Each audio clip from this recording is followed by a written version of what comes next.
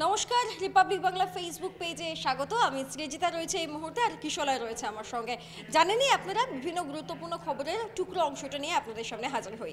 তা এখন যে খবরটা দিতে আমি আর কিশলয় এলাম সেটা হচ্ছে যে দেখুন, সম্প্রতি মানে আজকেই যেটা দেখতে পাওয়া যাচ্ছে যে বোলপুরে সিবিআই আধিকারিকরা একেবারে জায়গায় জায়গায় তল্লাশি করছে।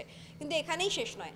আরও একটা জায়গায় তল্লাশি হচ্ছে, সেটা হচ্ছে সল্টলেক নিউ টাউন সেখানেও একটি অভিজাত আবাসনে, একটি অভিজাত আবাসনে তল্লাশি চালাচ্ছে সিবিআই আধিকারিকরা। কিন্তু কেন নিউ টাউন আমি এইটা নিয়েই কিশোরের কাছে যাব, তবে তার আগে একটু মনে করিয়ে দিই, পার্থ চট্টোপাধ্যায় ঘনিষ্ঠ এক ব্যক্তির নাম সম্প্রতি সামনে এসেছে, প্রসন্ন কুমার রায়। প্রসন্ন কুমার রায়, পার্থ চট্টোপাধ্যায়ের ভাগ্নি জামাই। তার একাধিক সম্পত্তির খোঁজ পাওয়া গেছে, সেটা কখনো রাজারহাটে, কখনো নিউ টাউনে কখনো দক্ষিণ চব্বিশ পরগনায়, কোথাও একটা রিসোর্ট এরকম একাধিক সম্পত্তির খোঁজ পাওয়া গেছে। তাহলে ফের নিউ টাউনে সিবিআই, এবার কেন? কেন কিশোরায় একদমই। আজকে দিনটা বলা যেতে পারে সকাল হওয়ার সাথে সাথে আমরা পরপর যেভাবে সিবিআই হানার খবর পেলাম, তাতে বোঝাই যায় যে আজকে সিবিআই ঠিকই করে নিয়েছে যে বেশ কয়েকটি কেসে কিন্তু তারা তদন্তের অগ্রগতি করবে। এই যে আমরা নিউ টাউনের খবরটা প্রাথমিকভাবে দেখাচ্ছিলাম, তার আগে আমরা দেখিয়েছিলাম অনুব্রত মণ্ডল রিলেটেড কেসে কীভাবে বোলপুরের মাল্টিপল জায়গায় সিবিআই হানা চালাচ্ছে এবং সেখানে ডেভেলপমেন্টগুলো এইবার সকালবেলা কলকাতা সিবিআই অফিস থেকে, নিজাম প্যালেস থেকে দুটো টিম বেরোয় এবং এক- একটা টিম কিন্তু সোজা নিউ টাউনের একটা অভিজাত আবাসনের দিকে চলে যায় এবং সেই আবাসনে তারা একটি পঞ্চম তলার ফ্ল্যাটের মধ্যে কিন্তু তল্লাশি চালায়।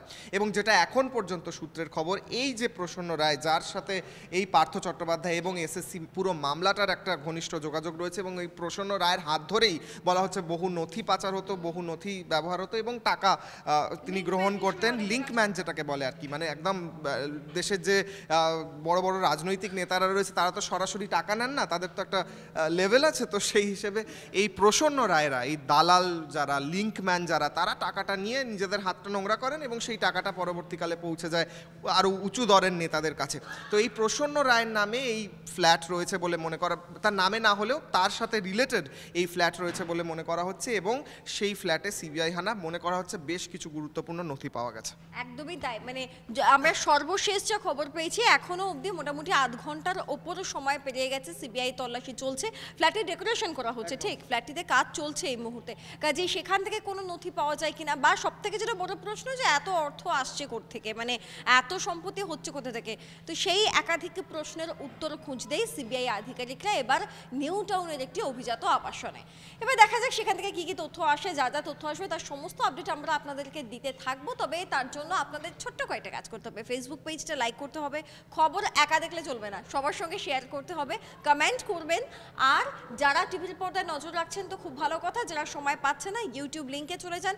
ইউটিউবে আর বাংলা বলে যে চ্যানেলটি রয়েছে, সেখানে সাবস্ক্রাইব করুন এবং নোটিফিকেশনের জন্য বেল আইকনটা ক্লিক করে রাখবেন। আর সব খবর সবার আগে জানতে কি করতে হবে? নজর রাখবেন রিপাবলিক বাংলা।